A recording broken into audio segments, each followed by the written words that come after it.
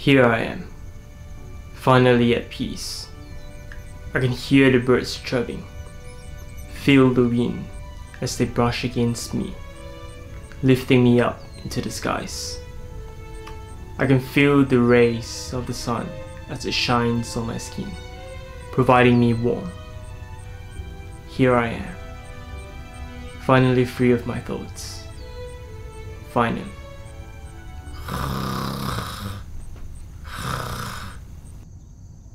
That is one of the problems that people face when they're trying to reflect. Ideal conditions are nice, but sometimes they're so nice they fall asleep.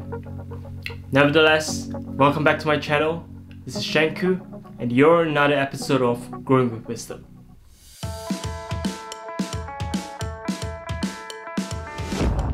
Essentially, a good reflections have three components. Number one, what have I done well? This is usually a section that most people fail to reflect on. We are always taught to look at our flaws so we can learn from them, correct them, and do better next time. We are so focused on the negativity, we fail to give ourselves the credit we deserve. The credit of even attempting it. As a result of focusing on only on what's wrong, we feel inadequate sometimes to the point where you will ask yourself, is screwing up the only thing you're good at?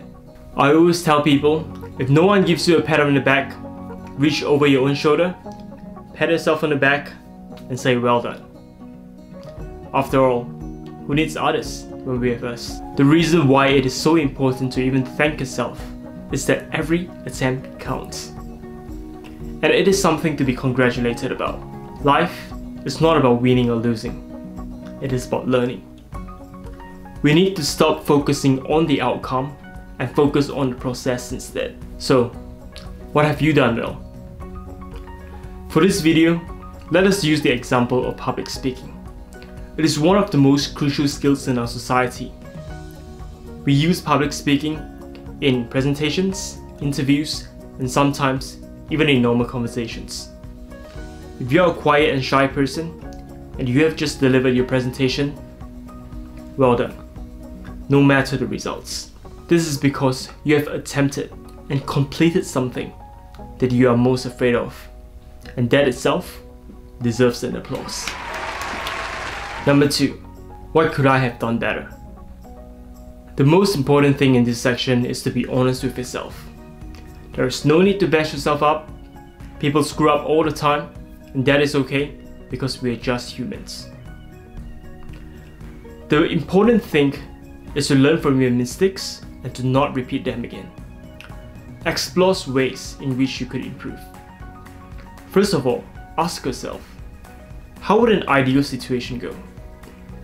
Say if you're a boss in public speaking, you have gone out on a stage, dominated, you have interacted with the crowd well, make everyone laugh, command attention when you needed it, and walk off the stage feeling like you're on top of the world.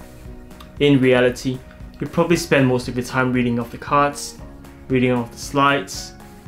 Most of your speech will be filled with um, uh, ah. Your mind goes blank when someone asks you questions, and when you crack a joke, no one laughs at it. That is okay. Secondly, identify where did you go wrong.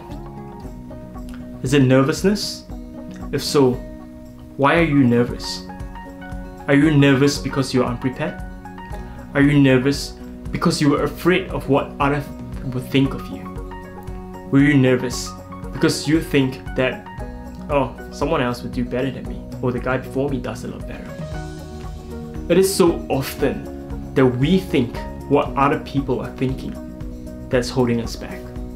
Thirdly, what do you need to do better?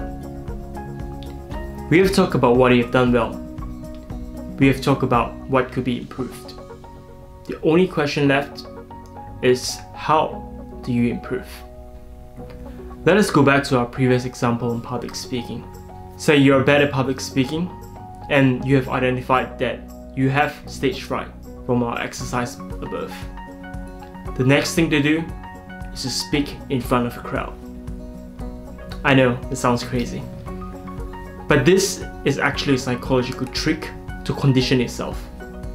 You may have heard of suggestions such as imagine everyone's a potato. I don't know why potato, there's so many better fruits and vegetables that I could think of.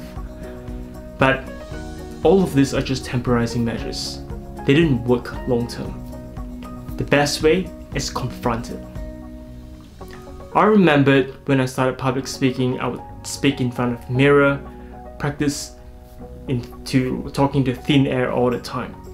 And you know those awkward moments, especially if you're an Asian and you know your mom just comes into your room without knocking. The amount of time my mom caught me speaking to thin air, it is lucky you know she didn't send me to a psychiatrist because she thought I was hallucinating. Start with smaller groups, say your friends, your family, people you're close to, people who won't laugh at you. Beg them to listen to your speech. Then we move on to bigger group, and then bigger, and then bigger, until you're so confident you can do this in front of a crowd without any preparation. Research on tips to improve, go to courses such as Toastmasters, those big back in my days, and watch my YouTube videos. And practice, practice, and practice. That's it guys. Three simple steps on how to do a good self-reflection. I hope you enjoyed this video, remember to like and subscribe, and I'll see you next week.